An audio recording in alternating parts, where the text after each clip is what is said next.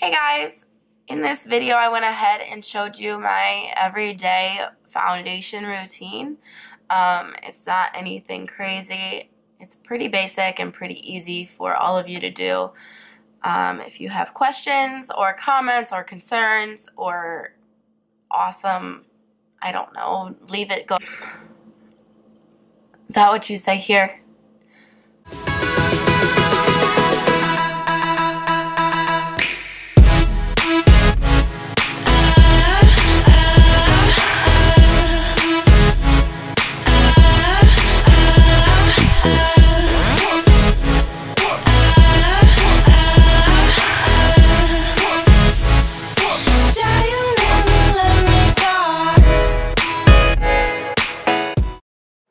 Okay, let's go ahead and get started here. So I already moisturized my face and I already did my eye makeup as well. Um, just kind of a neutral eye. I always go in and do my eyeshadow before my foundation just to make sure there's no fallout. So I went in and started with my Makeup Forever HD foundation. Um, this is one of my go-tos, probably like every day or twice a week at least. You don't really need a lot of this. Um, I wouldn't really consider it to be um, sheer or full coverage. It's somewhat in between. Um, and I don't really have dry or oily skin, so I was kind of blessed with that. And the brush that I use for my foundation is the MAC 130. Um, to be honest, I really hate this brush and I wouldn't recommend it for anyone. The bristles fall out on my face and it's really annoying. And I'm just being honest. So the next thing that I do is go in with my concealer. And I use the Urban Decay Naked Skin Concealer. It is um, weightless and complete coverage. And I am shade light neutral. You are going to apply this under your eyes and I usually do a triangle um, kind of down to my nose and then up to the outside of my eye. And then I just use my Beauty Blender and some CO Bigelow. It's a Vitamin Boost Toner. Um, I just mainly use this because it's sitting on my desk always. Um, you can use water, whatever. I'm just too lazy to get up and run it under my sink. Um, so then I just blend this out the Beauty Blender is going to pick up extra product and make it not so light and not so cakey. Um, I don't really have under eye issues as far as darkness or bags under my eyes, um, but it is a full coverage um, concealer, so it is going to cover up darkness or the bags under your eyes if you have those issues. Um, I just use it for the sole purpose of making the inside of my face lighter than the than the outside. Um, you'll also notice that I go in at the top of my forehead, down my nose, and at the top of my cupid's bow. And that's that little area above your upper lip, if you guys don't know that. Um, and then it's very important to go in and set your concealer. Um, if you don't set your concealer, you're probably going to get little creases. Um, that's just from your liquid not being set with a powder. So I go in with the Laura Mercier Translucent Loose Setting Powder. Um, the thing about this is that it's more of a banana shade than just a starch white. Um, I used to use a white a white setting powder and I did notice in photos with the flash oh my gosh, under my eyes would just light up. So that was kind of a done deal for me for that. And the next thing that I do is go in with my angled brush, and I use the Laura Mercier um, Matte Radiance Baked Powder in shade Bronze 04. Um, this is the most beautiful bronzer that I have ever purchased. It's by far one of my favorites. Um, it's really glowy, has a little bit of shimmer to it, but most importantly, it's dark without being orange. Um, with a lot of bronzers, they go orange instead of brown, and you want to look bronze instead of spray tanned, I guess. Um, so with contouring, I usually start top of my ears and go down. Um, there's a there's a bone right there that I usually just feel for. Um, a lot of people make the kissy face and go under right under the, the cheekbones there. Um, you see me do that a couple times, um, but at this point I can just kind of turn to the side and feel that. Um, and then I go in at the top of my hairline and on my nose. And I typically just go all over my nose.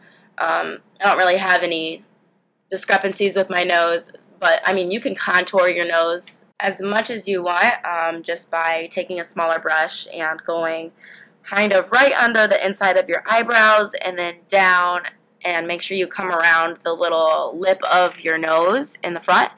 Um, and then I kind of blend that down towards the inside of my face to make it not so streaky because no one wants two lines running down the side of their nose. People are going to be looking at you like, what the heck are you doing? And then I go in with my MAC Blunt. I believe this is actually um, considered a blush at MAC. I'm not really sure. I use it to deepen my contour. Um, typically, you want the darkest part of your contour to be um, closest to, to your ears. So I, I somewhat just kind of make a little bit of a mark right at the ends, and then I blend it out with a bigger bristled brush. Um, you also want to make sure that you put whatever bronzing product you want on that same brush and just go under your chin um, to kind of blend into your neck that bronze shade so it doesn't look so unnatural. And then next I go in with MAC Spring Sheen Blush. Um, there is so much shimmer in this blush. It is so beautiful. It has a little bit of like an orange glowy tint to it. Um, I reach for this basically every time that I do my blush. Um, it, it, it can go on anyone. It's perfect for anyone. And I'm not really a pink blush person, so this is perfect for me. And then next, of course, of course, if you guys have not tried the Becca products, you need to because you will fall in love. Um, I went in with shade Opal, and this is the Opal Highlighter by Becca. Um, oh my gosh, this is so beautiful. Um, it's perfect for any shade, pale, bronze, tan, whatever. I own three of these and I do not regret purchasing any of them, and I use them all all the time. So what I usually tell people to do with highlighter um, is to form basically a C shape around your eye. So just the top of your cheekbone and then up to above my eyebrow, and you will be all set for highlighter. And the next thing that I do is go in with my nice and spicy MAC Pro Longwear Lip Pencil. Uh, this is my go-to. This is my favorite lip ever, um, if you have ever noticed. And if you don't know how to do lip pencil, basically just outline your lips. Um, I like to go under my bottom lip a little bit just to make it a little bit bigger. You can make them as even as possible on the top. You do you, just don't make yourself look too bougie. And then I go in with my all-time favorite MAC Viva Glam 2 and just apply this inside the liner and then magically I do my eyebrows and my mascara real fast. I'll show you guys how to do that in an upcoming video. Um, and then lastly, I go in with the Urban Decay All Nighter Makeup Setting Spray. Um, I use this mainly if I'm planning on doing something fancy or want my makeup to really last me. Um, this holds up for 16 hours and you'll be set for the day. Um, that's all I got for you guys today. I hope you enjoyed it. I hope I helped you out a little bit, and thanks for watching.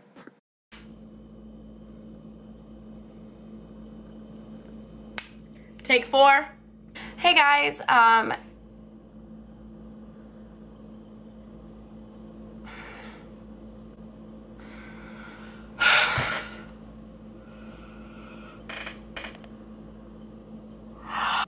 Hey guys, um, this is so hard. I don't know who signed me up for the fits of it.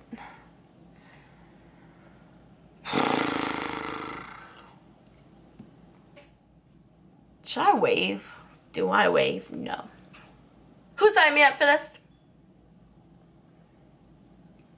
You're from the 70s,